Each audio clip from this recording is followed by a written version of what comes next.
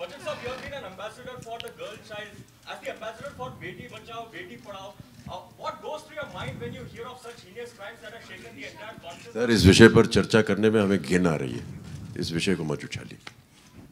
it's terrible to even talk about sir इस विषय पर चर्चा करने में हमें घिन आ रही है इस विषय को मत उछालिए it's terrible to even talk about